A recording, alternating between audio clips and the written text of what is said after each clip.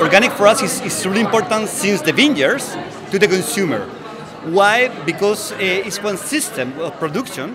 You start to have a clean production without any chemicals, and that uh, happen is a is a really good result uh, for the vineyards, for our workers, for have the possibility to give a, a better land for the new generation, and also for our clients because you can you can to receive a wines more healthy without any chemicals and with the more expression of each one.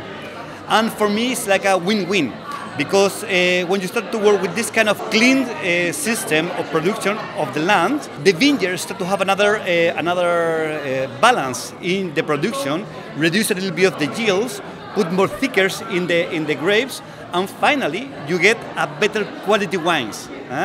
And uh, for that, uh, you work with more respect for your landscape, and the lands show you a better quality wines. It's a win-win.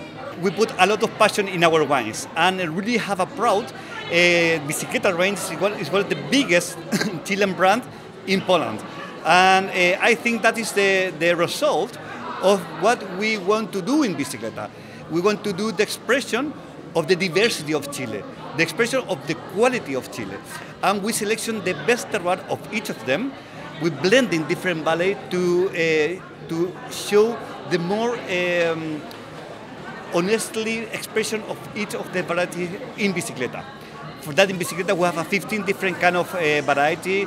We have Sauvignon Blanc, Riesling, Viognier, Gewürztraminer, and all of them is honestly about the about the variety. The, the, our plan in Bicicleta is you can to make a blend tasting and you know the expression of each variety and the the potential of the Chilean diversity and Chilean quality in a bottle.